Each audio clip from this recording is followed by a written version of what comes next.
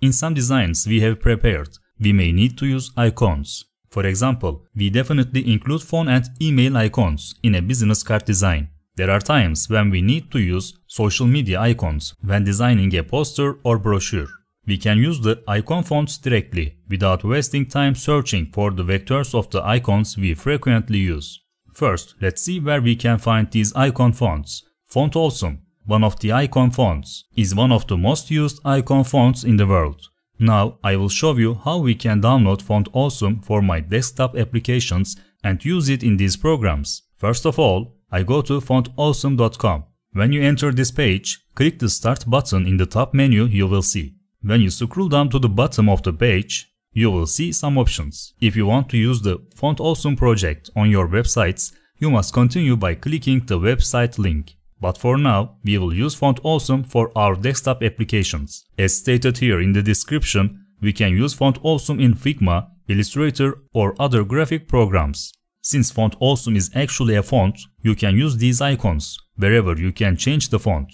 Click on Desktop Applications link on this page. Let's click the Start with the Fonts button and then start downloading the files below. When we enter the download link, we have two options here again. Since we are interested in the desktop part, we click the Free for Desktop button and let's download the file. The font file to a folder on our computer or to the desktop. We can start this download process by clicking the Save button. Since it is already a font file, it will not take up much space. I go into the zip file we opened and you will see the OTF folder here. You will see three fonts in the OTF folder. These fonts may be more, but you may need to purchase them.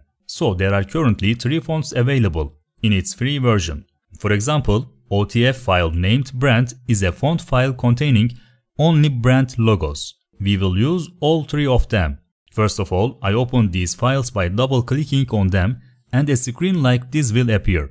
By clicking the install button, we ensure that this font file is automatically installed on our computer. I click the install button. This font has been installed. I'm closing this window. Now let's do the same for the others. I open it and click the install button.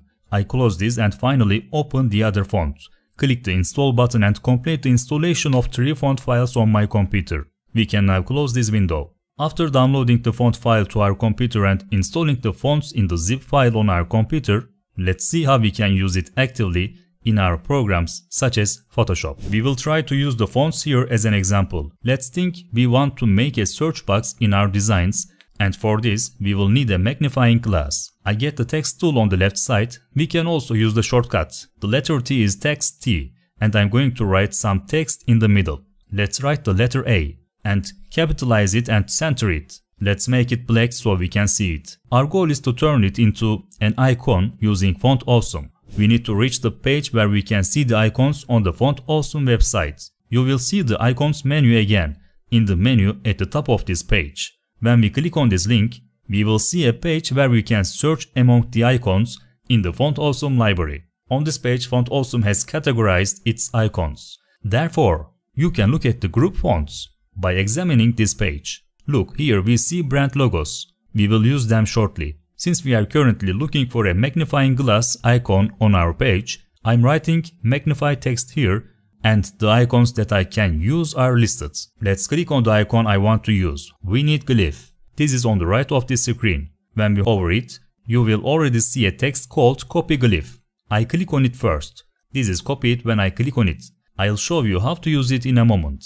Now let's move on to Photoshop again. I select my text and paste the icon here with Ctrl V. When I paste this icon, you may encounter such an icon. This means that this font cannot be found on Photoshop and many other graphic programs. We don't currently use Font Awesome fonts. See here is another font name. Now, I'm changing this font name by clicking on it and typing Font Awesome here. Even if I type font directly, the fonts I add appear in front of me. When we hover it, I choose the font called Free Solid and when I select it, I see the icon I just copied here. We shouldn't forget to change the font after selecting the object you copied. Now let's place a brand icon here. For example, let's place a Facebook icon. Again, I click on icons and at the bottom of this page, we just saw there is an option to show all brand icons. You can also click directly on these icons. Let's take a look at all the brands to see what they have. As you can see, They have a wide range. You can easily use each of them. I want to use Facebook from here. Therefore, I can find the icons I want to find by searching the word Facebook directly. For example, let's say I want to copy it. I click on it. I'm copying it by clicking on the clip icon here. Going to Photoshop and pasting it. Hopefully, it will come here. But what it will say? It is important that we choose the right font. It is now back to Myriad Pro again. But even if the previous font is selected, it will not appear here, because we need to choose brand font. I'm typing again. See, when I select Free Solid here, it won't show up. When I choose the brand font, I can see the Facebook logo here. Another beauty of these fonts is this. Of course, since these are fonts, no matter how much you enlarge, there will be no deterioration. Just like vector files. I think the biggest advantage is that you can access these icons quickly. Of course, like standard fonts, you can change their colors as you wish. Or you can give effects such as shadow and stroke. Yes, that's it for this video. It's a library that I think you can save a lot of time when you need an icon for your own designs. I hope it was useful. If this video helped you out, don't forget to like, share and subscribe. I'll see you in the next video.